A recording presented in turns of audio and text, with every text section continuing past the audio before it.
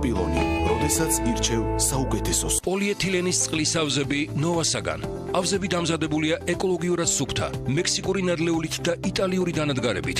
წარმოების როტაციული მეთოდი უზრუნველყოფს ავზის თანაბარ ფენებს და გამძლეობას. შეარჩიეთ სასურველი ზომის, ფერის და ფორმის ავზი. ავზები ნოვასაგან. ინფორმაციისთვის იხილეთ ვებგვერდი avzi.g.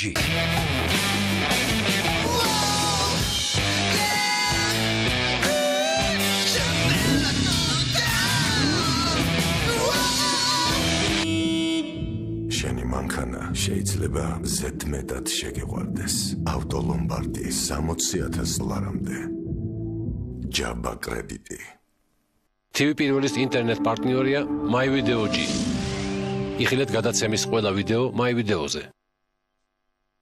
ტრიმეკორი ემერიკვებავს გულის კუნც 24 საათის განმავლობაში, რომ გულმა სიბერეში საათივით იმუშაოს. მიიღე ტრიმეკორი ემერი, გაიხან გრძლივ ედრო. გამოყენებისას გაეცანით ინსტრუქციას გვერდითი მოვლენების შესახებ დეტალური ინფორმაციისთვის მიმართეთ ექიმს.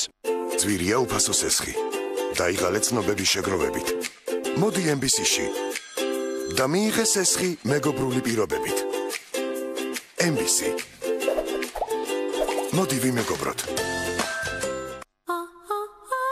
ზიანი ზეითუნის მცენარეული ზეთი. ახალი კვერცხი ლიმონის წვენი. ხოლოდეს ნატურალური პროდუქტები ქმნიან მაიონეზ მისტერ რიკოს დახვეწილ გემოს. მაიონეზი მისტერ რიკო აირჩიე საუკეთესო ადამიანები ტრანსპორტირების საშუალებას მუდამ იცვლიდნენ. ცხენი, ორთქმავალი, ავტომობილი, უცვლელი რჩებოდა საწვავის აუცილებლობა, თივა, ქვანახშირი, бенზინი, ბრეგოს ავტოგასამართი სადგურები. ის რაც თქვენს მანქანას დღეს ჭირდება. კეთილი იყოს თქვენი მობრძანება შინჰოფერის სამყაროში. მხოლოდ ავსტრიული ხორცისგან, ტრადიციული რეცეპტებით, შინჰოფერი უკვე საუკუნეა ქმნის 600-ზე მეტი დასახელების დელიკატესურ ძეხვეულს. ეზიარეთ შინჰოფერის ხარისხს და დადგმით უკეთესი ცხოვრებით.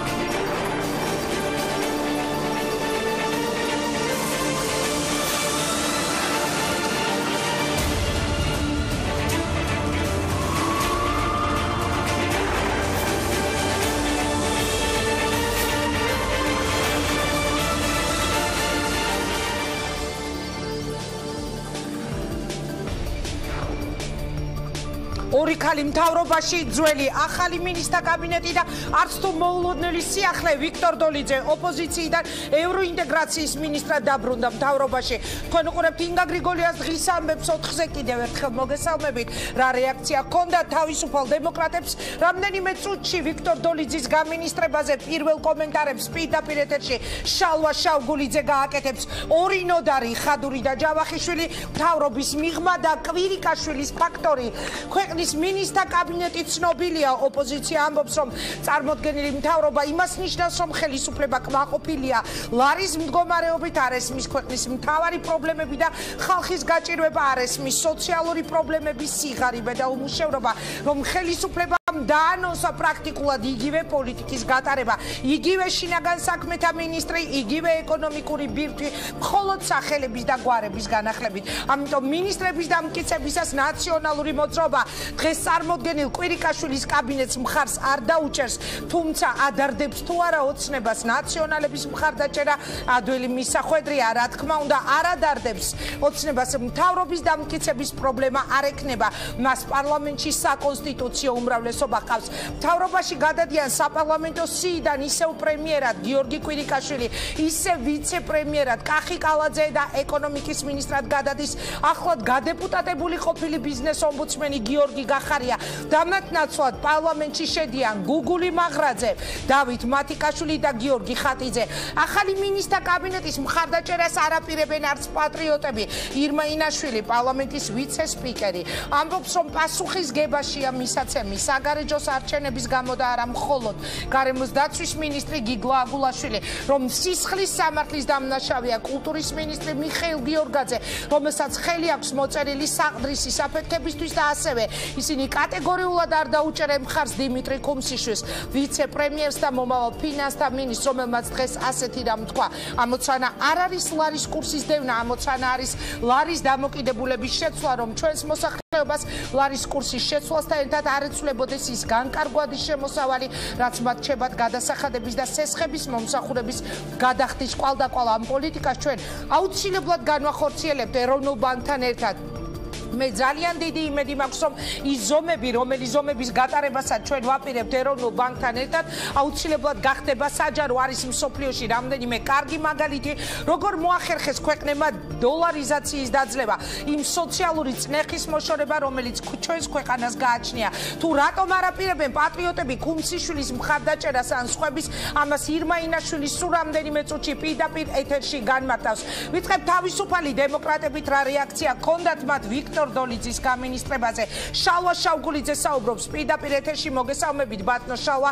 მაინტერესებს როგორი იყო თქვენი რეაქცია, როდესაც მინისტრთა ახალ კაბინეტში თუ ძველ განახლებულ მინისტრთა კაბინეტში აღმოაჩინეთ ვიქტორ დოლიძე. მოგესალმებით და მივესალმები ტელემაყურებელს, დიდი მადლობა მოწვევისათვის. მადლობა თქვენ მონაწილეობისთვის. რაც შეეხება ორიოდე სიტყვით ვიტყვი მთლიანად მინისტრთა კაბინეტზე ჩვენი პოზიცია ესეთია და პირადად ჩემი პოზიციაც რომ სამწუხაროდ რჩება უცვლელი ის მანკიერება რომელიც გამოიხატება არაფორმალურ მართლობაში და ასეთ ვითარებაში პერსონალიებს ნამდვილად აღარ აქვს დიდი მნიშვნელობა. ხოლო რაც შეეხება ხა კონკრეტულად ვიქტორის მონაწილეობას ახალ მთავრობაში მე იმედი მაქვს რომ ალბათ ვიქტორს მიაჩნია რომ ის ქართული ოცნების რიგებში მყოფი უფრო ეფექტურად შეძლებს ამ პოლიტიკური ძალის არასწორი მიმართულებების ტენდენციების გაკეთილშობილებას და გამოსწორებას. მე არ მინდა დავიჯერო არც ერთი წუთით რომ ვიქტორს განზრახული აქვს ასე ვთქვათ ფეხი აუბას ქართულ ოცნებას იმ არასწორი პოლიტიკის განხორციელებაში რის გამოც ჩვენ ერთად გავხდით ამ პოლიტიკური ძალის ოპოზიცია? მაგრამ რის გამოც თქვენ ერთად გახდით ამ პოლიტიკური ძალის ოპოზიცია? ბატონო შალვა მაშინ წამოვიდა ოპოზიციაში ვიქტორ დოლიძეც და დღეს ის დაბრუნდა. სწორედ იმ სამინისტროს პირველი პირის ადგილზე პოზიციაზე საიდანაც გადადგა თქვენთან ერთად როცა წახვით ოპოზიციაში ალექსი პეტრიაშვილი. მაინტერესებს ამიტომ განსაკუთრებით როგორი იყო თქვენი რეაქცია და თუ ჰქონდათ კომუნიკაცია მაგალითად იგივე ვიქტორ დოლიძესთან მას შემდეგ რაც მან გააკეთა განცხადება ცაგარეიშვილთან ონოფრიშვილთან და ერთად რომ იგი მიდიოდა თავისუფალი დემოკრატებიდან. იცოდით თქვენ რომ ის უბრუნდებოდა თავრობას და იკავებდა იმ სამინისტროს პირველი პირის პოზიციას საიდანაც წამოვიდა პეტრიაში. გასაგებია ინგა კომუნიკაცია არ მქონია არავითარი. რაც შეეხება იმ საკითხს, რომ ვიქტორ დოლიძემ დაიკავა ალექსი პეტრიაშვილის თანამდებობა, რომელიც დატოვა ალექსი პეტრიაშვილმა, მე ადრეც აღნიშნე ეთერში და იგივე სვიტყვი, ეს არის ესეთი ადამიანური ფაქტორი და მე მიმარჩნია, რომ ეს არ არის გამართლებული პირადად ჩემთვის ეს მიუღებელია. პეტრიაშვილის ფაქტორის გამო არის მიუღებელი ეს გადაწყვეტილება. თუ ჩვენ შევაფასებთ, ეხა აი თქვენ როგორც კითხვა დამისვით, რომ ვიქტორმა დაიკავა ეს თანამდებობა, აი კონკრეტულად ამ თანამდებობასთან დაკავშირებით მაქვს ესეთი წმინდა ადამიანური დამოკიდებულება და ჩემთვის მაგალითად მიუღებელი იქნებოდა, ვინაიდან ერთად გამოვიდნენ ერთი გუნდის წევრები ოპოზიციაში და შენმა თანაგუნდელმა დატოვა ეს თანამდებობა, შენ შეიცვალე პოზიცია და ბრუნდები ახლა მის თანამდებობაზე. არ არის ლამაზი და რაღაც აი ამ კუთხით არ არის ჩემთვის მისაღები, მაგრამ ეს არ არის არსებითი თუ ჩვენ ვიმჟელებთ პოლიტიკური თვალსაზრისით ვიქტორის გადაწყვეტილებასთან დაკავშირებით, ხო?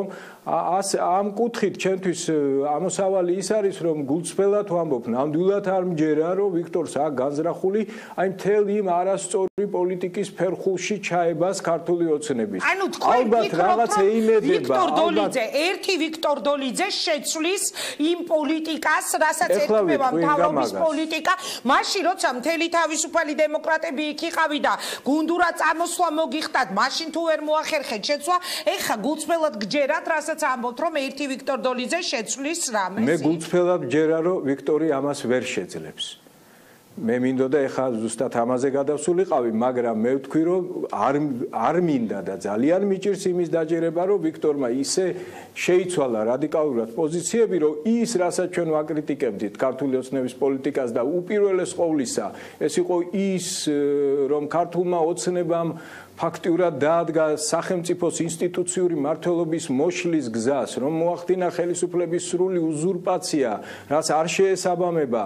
მის მიერვე დეკლარირებულ ქვეყნის ევროატლანტიკური ინტეგრაციის კურსს და ვიქტორი შინაგანად არის ევროპული ორიენტაციის ადამიანი, აქედან გამომდინარე მე ვერ უშვებ, რომ ვიქტორი ესე თქვათ ჩაებმება ამ არაევროპული პოლიტიკის ფერხულში.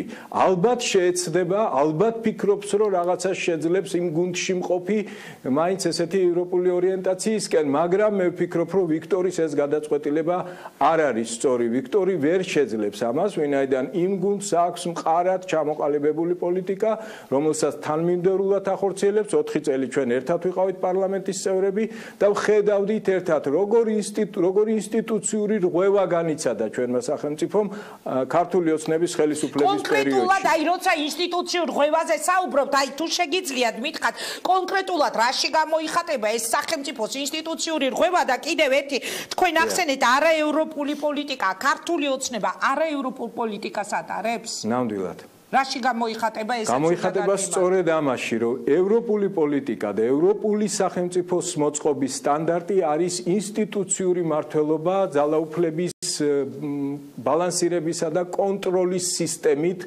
ხელისუფლების შტოებსა და ინსტიტუციებს შორის.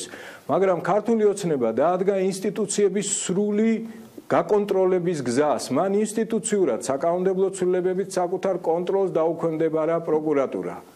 აღარ წავალ სიღმეში რა რატომ ამ კანონის გარჩევას ვერ დავიწყებთ. ასევე ვხედავთ როგორ გააკონტროლა სასამართლო ხელისუფლება.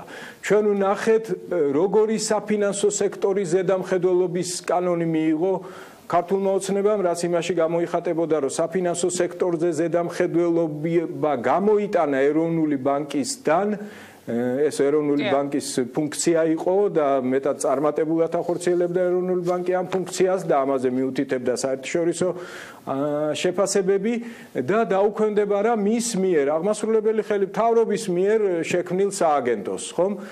ესე იგი, ხედავთ რომ რასაკეთებს ქართული ოცნება სახელმწიფო ბრალდებაზე, პროკურატურის სახით სრული კონტროლი, სასამართლოზე სრული კონტროლი, ფინანსებზე სრული კონტროლი,